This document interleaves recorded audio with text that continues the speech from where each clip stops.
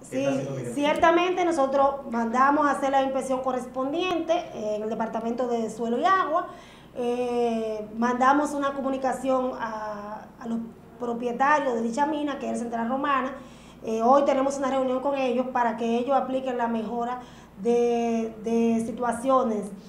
Tienen una acumulación de materiales esa sobreacumulación de materiales está haciendo que la brisa mueva ese material y se convierta en ese polvillo. Además, pudimos comprobar que ciertamente eh, a través de la explotación de dinamita con dinamita es frecuente, no es esporádico, sino que es frecuente. Y sabemos que esto está perjudicando a la salud y además, aparte de la salud de los hombres y mujeres, los niños y niñas de, que viven en el sector también, a los negocios porque esa situación pudimos comprobar, visitamos algunas peluquerías, algunos lugares y vimos cómo está llena de polvo toda esa área, por lo que nosotros le mandamos a Santa Romana una comunicación y en el día de hoy, toda vez que ayer estuvimos fuera de la ciudad, estaremos reuniéndonos con, con el departamento correspondiente para tomar la medida de corrección del lugar.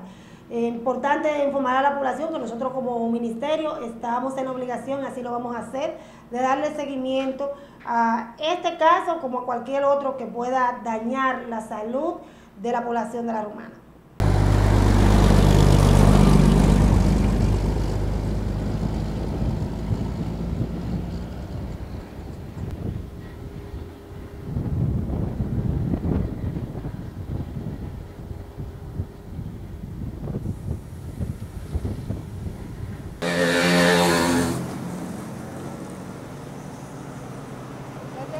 Ich bin